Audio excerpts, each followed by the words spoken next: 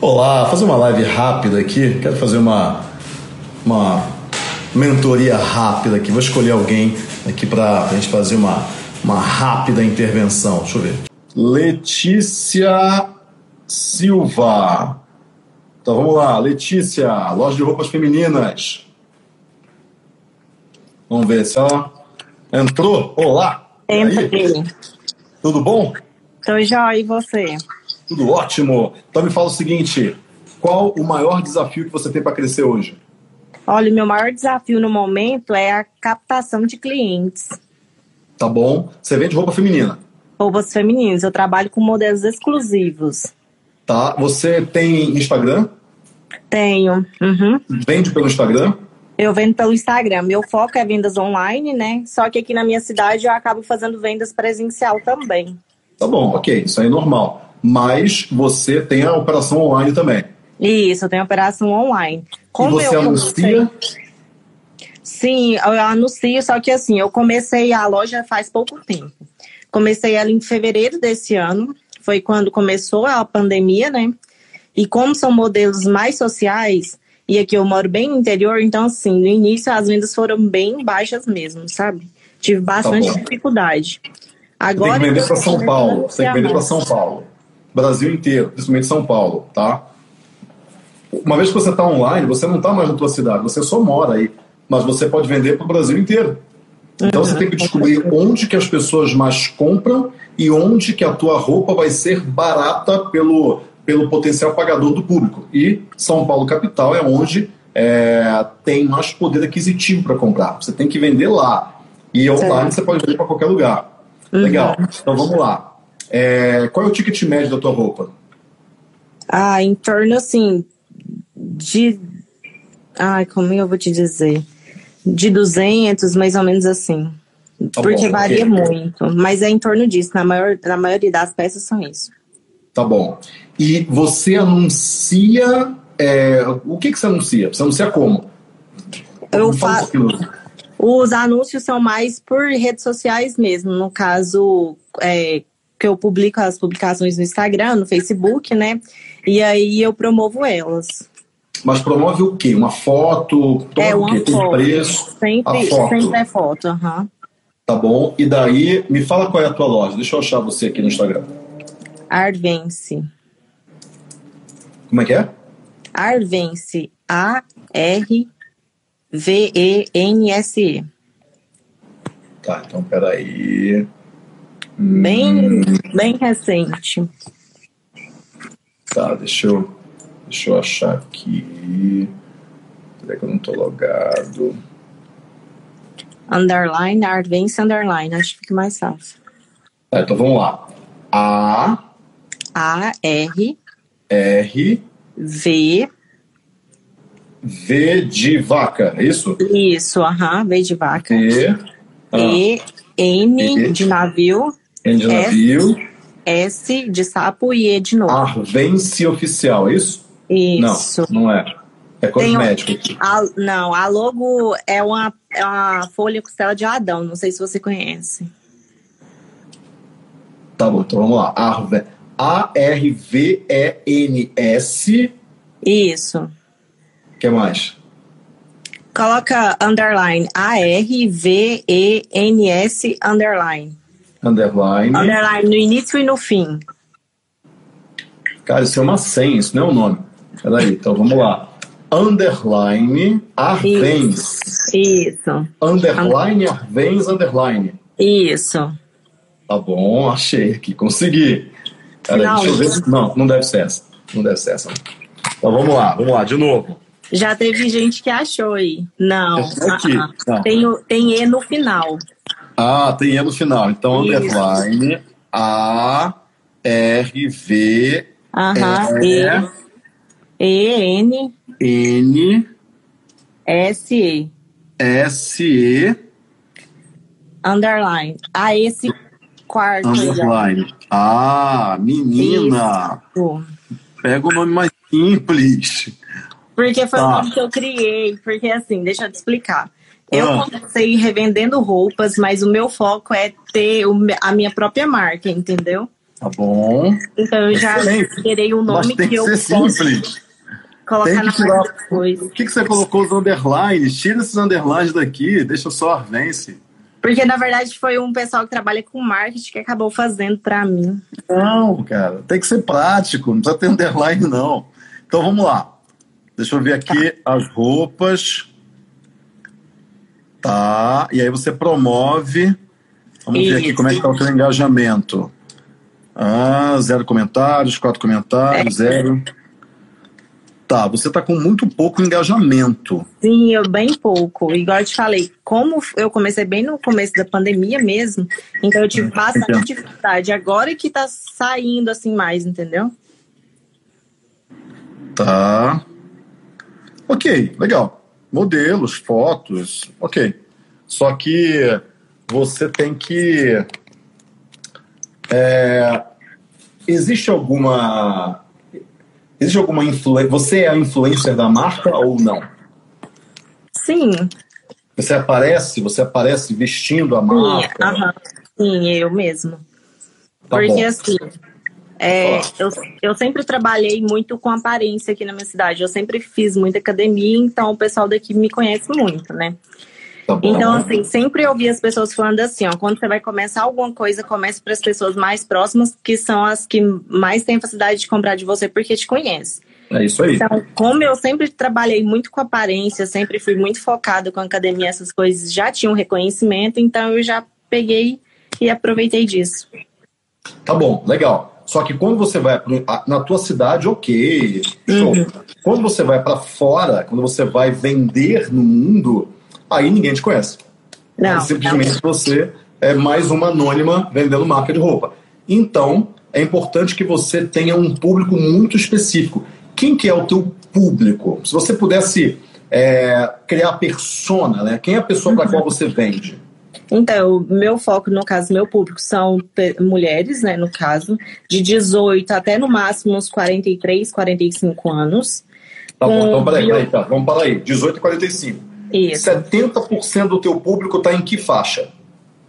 Na faixa dos 24 aos 32. Legal. Então esse é o teu público, 24 a 32. Tá? Eu diria que até um pouquinho, talvez uns 27 a. Ah, tá bom, 24 a 32, vai, ok. Uhum. É, legal. Então esse é o público, mira nesse público. Outra coisa é, que mais? que mais? que mais que essa mulher faz? Quem que ela é? Casada, tem filho, não tem? Como é que é a vida dela? Então, no caso, são para pessoas de biotipos magras. Eu não trabalho, sim, com, com categoria maiores, digamos assim, né?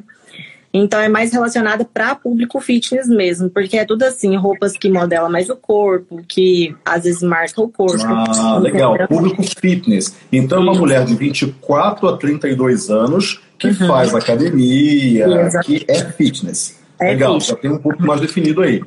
Essa mulher ela onde que mais se faz academia no Brasil? Onde se faz mais academia do Brasil seria em São Paulo, porque tem um público maior? Rio e São Paulo. É isso daí. Rio e São Paulo. Rio também, tá? Então você tem um público grande no Rio. Tem muita marca fitness no Rio, mas tem muita gente para comprar roupa no Rio. Uhum. Então, uhum. Rio e São Paulo é onde está o teu público. A outra coisa é, você aqui como influencer, você explora é, essa questão de você fazer academia, de você cuidar do corpo, você explora isso? Exploro. Você, se, você mostra fazendo isso? Legal. Sim, eu mostro. Porque você tem que ser a. Você é a, a influencer da marca. Então, quanto mais. Balneário Camboriú também, legal, boa. É. Quanto mais você você mostrar a, o teu dia a dia como empresária que cuida do corpo, mais outras empresárias e profissionais liberais que cuidam do corpo vão se identificar com você. E daí elas vão comprar de você. O que você usar vai vender. Só eu... que aí é Instagram nível hard. Uhum. É, eu faço bastante isso, até porque assim, eu sou farmacêutica, então assim, eu fico constantemente postando coisas assim do meu mundo na academia, do que eu faço. Também posto, às vezes, alguma dica de alguma coisa de alimentação, de algum chazinho, isso, entendeu? Ótimo, é isso daí. Então você vai falar no teu Instagram, ele vai ser um Instagram de um tema que vai ser Eu sou empresária, sou farmacêutica e tenho uma loja de roupas voltadas para pessoas como eu, que cuidam do corpo, que têm entre 24 e 32 anos e que querem valorizar aquilo que fazem na academia. Quer dizer, querem valorizar o seu próprio corpo com a roupa certa. E, é. e daí você vai falar sobre isso. Agora, o que eu não vi, putz, fechei aqui, mas o que eu não vi é, eu não vi esse posicionamento na, no teu post, na tua bio, eu não vi esse posicionamento, você tem que se posicionar. Então, eu vendo para mulheres que são fitness. Deixa eu entrar de novo aqui. É, realmente nas fotos, nos posts, eu não tenho esse posicionamento. Mas é quando eu faço alguma live, algum vídeo assim, que eu, que eu entro mais no assunto. Sim, mas o lance é que você tem que ter esse posicionamento em todos os lugares. Então, por exemplo, moda feminina Arvence, looks que você deseja do clássico ao mais ousado. Você não tem look clássico aqui. Look clássico não faz parte do seu posicionamento.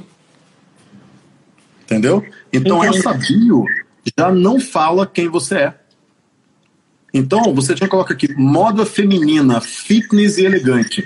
Looks que você deseja para valorizar o seu corpo. Entendeu? Hum, e, e isso tem que ser. Tem que ser alguma coisa muito mais focada na, no teu público. A mulher que é fitness e que quer valorizar o corpo, ela tem que olhar e falar o seguinte: cara, essa é uma marca para mim. E daí ela vai ver as roupas e ela vai falar: pô, realmente essa é uma marca pra mim. Não tem nada de clássico aqui. Tem roupa pra gente que cuida do corpo, ponto. E tá tudo bem. Não precisa falar que tem clássico, porque não tem. Entendeu? Hum, Talvez essa aqui, mas essa aqui já não faz parte do teu posicionamento. Uhum. Você não tem que ter roupa que esconde, você tem que ter roupa que mostra. Que mostra. Essa, essa é uma roupa que faz parte do seu posicionamento. Entendeu? Uhum. Entendi. Então, é, é, a partir daí que você vai ter uma. Ah, tem que fazer o login. A partir daí é que você vai ter um posicionamento claro e um público claro. O teu público tem que estar muito claro. A mulher não pode ficar confusa. Ah, essa roupa é para mim ou não é? Não, ela tem que olhar e falar o seguinte: essa roupa é para mim. E a outra tem que olhar e falar o seguinte: essa roupa não é para mim. Ponto, acabou. Uhum, entendi. E ali você, é, no, teu, no teu Instagram, segue a Doce de Coco. Doce tá? de Coco. Doce de Coco. Doce de Coco é uma cliente nossa, uma aluna, ela está com a gente há bastante tempo, e ela, é, ela, ela saiu de uma marca que fazia 200 mil mês no e-commerce para um milhão e tanto, quase dois milhões. Então, mês. E, e como? Segue ela, segue. Porque ali as donas da marca são as influencers, que são as duas filhas, que é a Camila e a Mariela, e a dona Ivone, que é a mãe que é a estilista é. também, elas têm fábrica. Então, uhum. elas, o Instagram delas não é um Instagram de moda, é um Instagram delas falando sobre a doce de coco, vestindo as roupas de doce de coco. É isso que tem que ser aqui. Porque se você coloca só um Instagram com um monte de fotos, você é mais uma, mais uma loja que tem um monte de fotos. Uhum. Não, você tem que entrar aqui. No, não só no Stories, mas no feed, você tem que falar olha, eu estou usando essa roupa aqui hoje, que é assim, assim, assado, e ela é muito versátil para eu para o trabalho, e hoje eu fui para academia, eu levei a roupa, ela não amassou. É esse tipo de coisa. Quanto mais você falar isso, mais as mulheres que são parecidas com você vão se conectar com você e vão comprar as roupas que você está usando. Mas assim, tem que ser exagerado. Segue o doce de coco, modela doce de coco e faz o que está ali. Cara, faz exatamente aquilo que está ali, porque ali tem dois anos de conversas condensadas entre a gente, né? Dois anos de conversas condensadas num perfil. Então certo. segue o que está ali, faz o que está ali. Entendi. Você é a influencer, lembra sempre disso. Segue também a Mila Gomes. Mila Gomes também é uma grande amiga, aluna já faz já há algum tempo. Ela manda muito bem no Instagram também e ela é a influência da própria marca dela. Entendi. Assim, uma das principais dificuldades que eu encontrei no início foi por questão, assim, os valores são mais altos, né? Então, assim, havia... Mais alto, mais alto para quem? Digamos que para o público que estava mais próximo de mim até então. Né? Isso, né? exatamente. Mas no online, você vende para qualquer lugar. 200 reais é um jantar mais ou menos em São Paulo. Não é um jantar caro, não. É um, é jantarzinho que você é um restaurante um pouquinho melhorzinho. Assim. Estacionamento vai para 300. Uhum. Então, 200 reais, caro para quem Não tem essa de caro barato. A questão é quem é que pode pagar o teu preço. Você pode vender, o ticket médio do doce de coco é 800 reais, mil reais, 1.200 reais. E está vendendo cada vez mais. Caro para quem? Elas estão em Jacutinga, uma cidade minúscula de Minas Gerais, que tem produção de tricô, obviamente. Mas o e-commerce dela mais vende para São Paulo e Brasília. Brasília tem o, o, o, o custo de vida mais elevado do país inteiro. Uhum, caro para quem? Lembra sempre disso. Caro para quem? Certo. Ok? Ok, muito obrigada. Segue a doce de coco. Cara, você é a influência, os posts tem que estar recheados de você colocando a de você colocando as roupas, você falando da sua vida, você falando por que, que a roupa é boa, por que, que é versátil e o que você usar vai vender. O que você usar vai vender. Certo. Maravilha? Maravilha, muito obrigada. Muito bom, excelente. E me fala o resultado depois. Vou desconectar Com você certeza. aqui. Tá bom, obrigada. Tenha uma boa noite aí a todos. Você quer transformar a sua empresa em uma máquina de atração de clientes, pagadores e qualificados, vender para eles e fazer com que eles comprem continuamente, recorrentemente depois? E não atrair aquele bando de curiosos que só ocupam o seu tempo e o tempo da sua equipe de vendas e no final não compram nada? Se você quiser saber como transformar a sua empresa numa máquina de vendas, eu vou dar um treinamento ao vivo e online de dois dias por um preço muito, muito tranquilo que cabe no seu bolso, ensinando passo a passo de como você pode transformar a sua empresa numa máquina de vendas. Então, se você quiser saber mais sobre esse treinamento, clique no botão que vai aparecer o que está em algum lugar aqui dessa tela e a gente se vê do outro lado para explicar para você exatamente como é o passo a passo desse treinamento máquina de vendas, como atrair um fluxo contínuo de clientes para o seu negócio.